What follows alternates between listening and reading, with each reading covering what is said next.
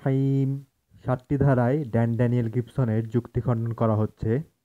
সাতটি ধারা চতুর্থ ধারা, অর্থাৎ প্রত্নতত্ত্ব আপনারা দেখছেন। প্রত্নতত্ত্বের এই পর্বে আমরা দেখব দুশারার মন্দিরের ব্যাখ্যা। এখানে ইবনে হিসাম একটি অত্যন্ত গুরুত্বপূর্ণ বিষয় তুলে এনেছেন। এটি ইসলামের ইতিহাসের প্রাচীন সময়ের ঘটনা। সেই সময়ে কেবল হাতে গোনা কিছু মানুষ ইসলাম গ্রহণ করেছিলেন।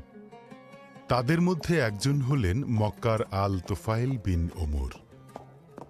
তিনি তার এক যাত্রাপথে ইসলাম গ্রহণ করেছিলেন এবং মক্কায় ফেরার পরে তার স্ত্রীও ইসলাম গ্রহণ করেছিলেন।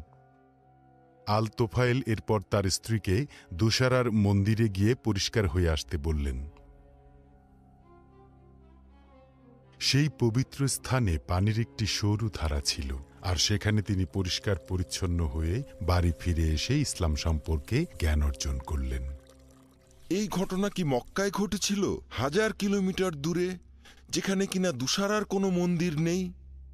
নাকি সেটা পেট্রায় ঘটেছিল? যদি পেট্রায় ঘটে থাকে, তাহলে দুসারার মন্দির তো এখানে দেখতেই পাচ্ছেন। সে এই মন্দিরে এসেছিল, পরিষ্কার পরিচ্ছন্ন হয়ে বাড়ি ফিরে গিয়েছিল। সৌদি আরবের মক্কায় কি দুসারার কোনো মন্দির আছে?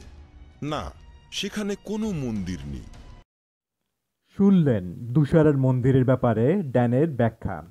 ড্যানের এই ব্যাখ্যা এবং যুক্তি খণ্ডন করব ড্যানের বক্তব্য থেকেই। তার আগে চলুন আরেকটি ক্লিপ দেখে নেই। পেট্রায় কি দেয়াল আছে? পেট্রা একটা উপত্যকায় অবস্থিত। দুপাশে খাড়া খাড়া সব পাহাড় ছিল। এই পাহাড়ের খাজগুলো শহরের দেয়ালের মতোই ছিল। পেট্রার অধিবাসীরা এক পাহাড়ের খাজ থেকে আরেক পাহাড়ের খাজ পর্যন্ত দেয়াল নির্মাণ করেছিল উপত্যকার দুই পাশেই। এর অর্থ হল পেট্রাতে নগর দেয়াল ছিল।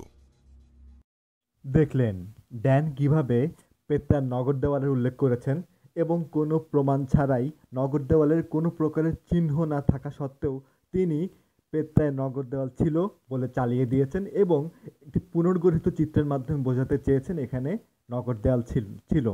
তাহলে ড্যান যদি পেত্তায় নগর দেওয়ালের কোনো প্রমাণ এবং কোনো চিহ্ন না থাকা সত্ত্বেও এখানে নগর দেওয়াল ছিল বলে চালিয়ে দিতে পারেন, তাহলে মাক্কাহ মুকাররামায় কেন দুশারার মন্দির থাকতে পারবে না?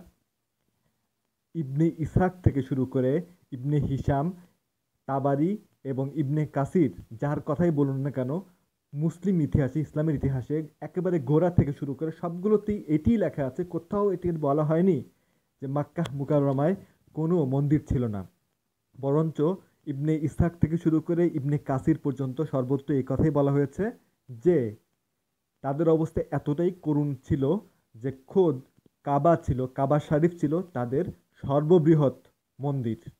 এরপরে এইটির জন্য আর কোনো ব্যাখ্যার প্রয়োজন পড়ে না, বোঝার জন্য যে আসলে মাক্কাহ মোগারামায় প্রাক ইসলামী যুগে অনেক মন্দির ছিল, অতএব দুশারার মন্দির থাকাটাও স্বাভাবিক। মাক্কার মতো একটি শহর যেটি হাজার হাজার বছর যাবৎ আবাদি একটি শহর, সেই শহরে ড্যান খুঁজে বেড়ান যে কোথায় দুশারার মন্দির ছিল, যেই শহরে বিধর্মীদের প্রবেশই নিষিদ্ধ।